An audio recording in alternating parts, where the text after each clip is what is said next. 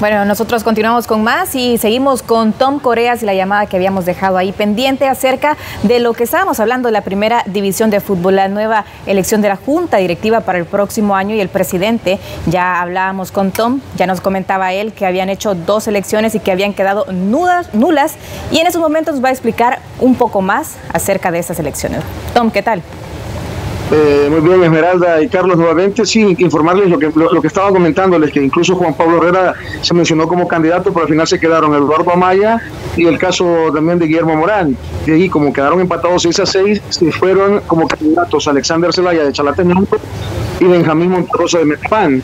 ¿Qué se viene para este jueves? Eh, está prácticamente, están definidos, lo, lo, para decirlo así, los dos bandos uno de Guillermo Morán y el caso de Eduardo Maya, que la gente de representante de Águila, presidente de Águila, el mismo de Alianza, Once Deportivo, el Santa Tecla, por supuesto, el Luis Ángel Firpo, que se ha sumado a ese grupo.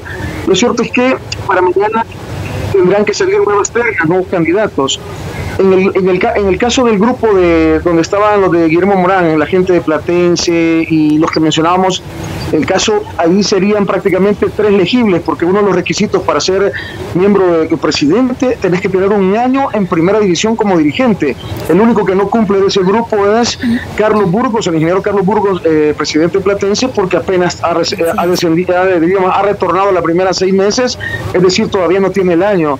De ahí podría ser candidato Luis Carrillo de Atlético Marte, el, mismo Leonel Hernández, de presidente de Jocoro, y habrá que esperar, porque en el otro grupo se habla de que el candidato, tras la que no se pudo con el empate de Benjamín Monterrosa, el mismo Eduardo Maya, el candidatazo podría ser el ingeniero Héctor Salazar, vicepresidente del Once Deportivo, e incluso el licenciado Alejandro González es candidato elegible, y el licenciado Pedro Hernández de Alianza también es candidato elegible, pero se suena fuertemente que Salazar sea el candidato, habrá que esperar en el otro grupo quién es el candidato, pero se, quedó abierto, según Samuel Galvez, el presidente de la primera, dijo que quedaba abierta la sesión y por ahí Miguel Anaya nos explicaba que si la sesión quedaba abierta, tendría que alguien apelar la situación de, de Metapan, que no tenía eh, la, la, credencial legítima para poder votar. Entonces, habrá que esperar que se desarrolle mañana a las 10 de la mañana en la, en la primera división. Lo cierto es que los destinos de la primera todavía son inciertos. Incluso el coronel Samuel Galvez puede ser también eh, elegible para ser presidente pero él me lo decía, si tengo siete votos, acepto el cargo. El caso del señor Rómulo Gómez de Limeño eh, también es uno de los candidatos que es legible para esta elección de mañana.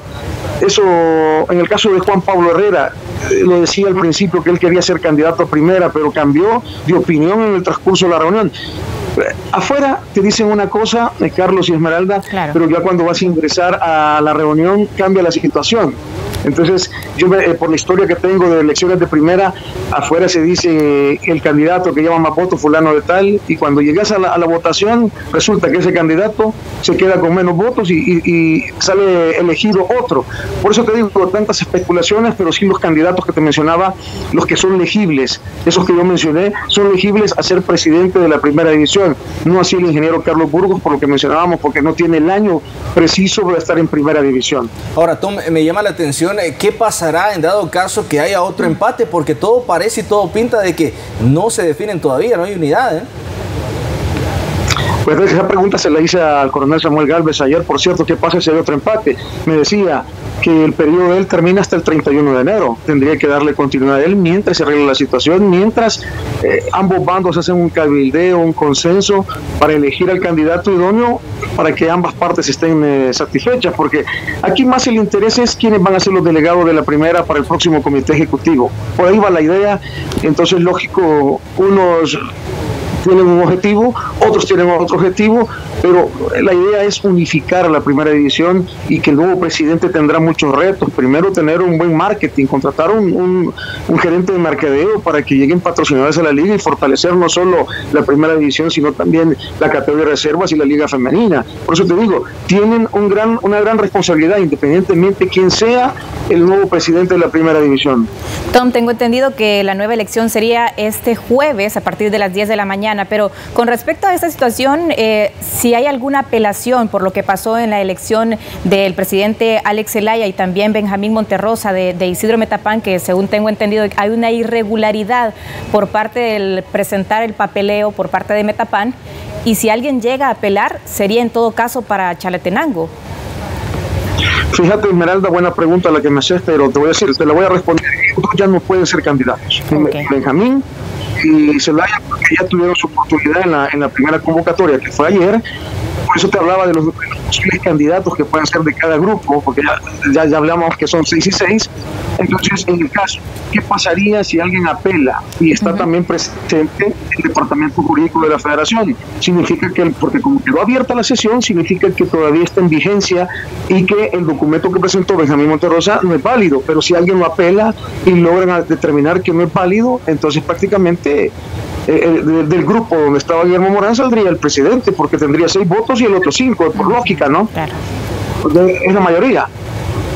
Sí, en efecto. A ver, me llama la atención también la postura del eh, coronel, ¿no? Ahora, él decía, y te lo comentaba a ti, de que él está dispuesto, si en dado caso no haya una, o haya un empate y no haya una elección certera el día de mañana, de retomar sería hasta cuándo el próximo año, porque entiendo que se irían de vacaciones mañana al terminar la reunión, ¿eh? Sí, mañana se van de vacaciones, pero tendría que ser los primeros días de enero la, nueva elección. Pero eh, acordate, el coronel, entre, eh, el coronel tiene todavía vigencia hasta el 31 de enero, por lo tanto podría seguir como presidente de la primera división. Siempre lo va a hacer, independientemente de quién elijan. Y él me decía: siete votos, si siete me apoyan, yo acepto reelegirme como presidente. Bueno, Tom, muchísimas gracias por toda esta información. Nosotros, por supuesto, vamos a estar a la expectativa de todo lo que esté pasando sobre esta nueva junta directiva que se va a elegir para el próximo año en la primera división de fútbol. Así es, en general de Carlos Iraeta y mañana a primera hora vamos a tener la información de quién es el nuevo presidente de la primera división, que ya lo mencionaba, tendrá muchos retos y entre ellos generar confianza en los patrocinadores en la empresa privada para que se acerquen al fútbol profesional y se tengan esos patrocinadores para darle fortalecer las inferiores, sub-17, categoría reserva, femenina y por supuesto la Liga Mayor para que tenga un buen marketing, compañeros. Bueno, gracias Tom.